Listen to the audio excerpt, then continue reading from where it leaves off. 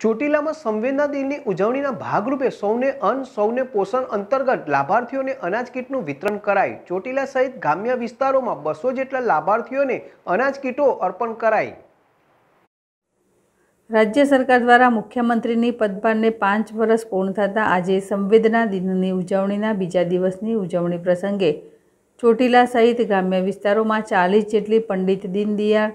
ગ્રાહક ભંડારના લાભાર્થીઓને પ્રધાનમંત્રી ગરીબ કલ્યાણ અન્નના યોજના હેઠળ લાભાર્થીઓને અન્ન કીટોનું વિતરણ, ચોટીલા મામલતદાર